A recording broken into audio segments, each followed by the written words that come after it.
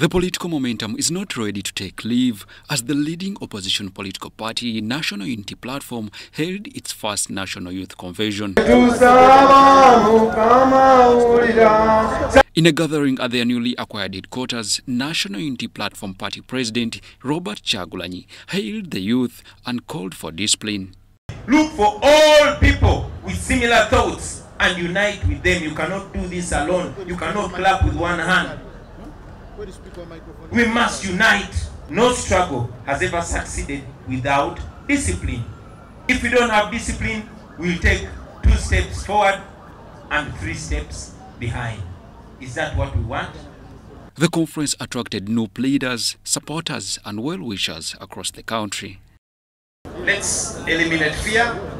Let's remain united. Let's remain focused. Young people, do you hear me? Let's remain focused on what it is that we want. Joshua Kagor, UBC News.